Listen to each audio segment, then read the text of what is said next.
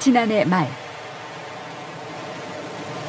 북한은 대륙간 탄도미사일급 화성 15형 발사의 성공을 알렸습니다. 미국 전역이 사정권에 들어오는 미사일이었습니다.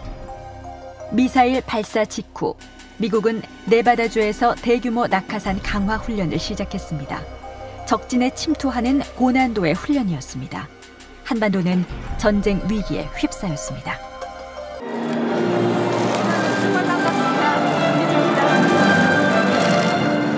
대전환 평화로 가는 마지막 비상구가 열리는 듯했습니다. 하지만 그렇게 쉽게 풀릴 실타래가 아니었습니다.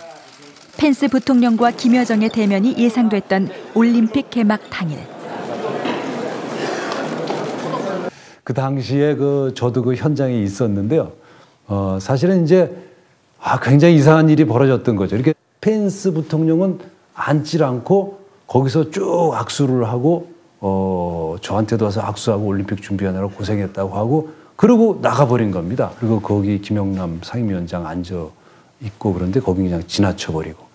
사전에 남한의 중재로 양측의 회담이 예정돼 있었습니다. 하지만 미국의 펜스 부통령은 시종일관 북의 특사단을 외면했습니다.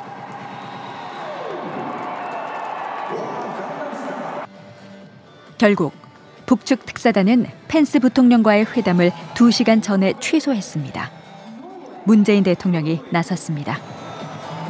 펜스 부통령을 예고 없이 문재인 대통령이 찾아가서 오늘 김여정과 김영남을 만났는데 이러이러한 얘기를 했고 에, 그래서 어, 이 남북 관계 개선에 대해서 걱정할 필요가 없고 또 하나는 미국이 그렇게 수고스럽게 대북 압박 정책을 일관되게 해서 이런 결과가 나온 것이고 에, 지금 남북 관계가 개선되고 있지만 그렇다고 해서 북핵 문제에 가시적인 성과가 나오기 전까지는 일체 와, 어, 제재를 완화하지 않을 테니까 걱정하지 마라.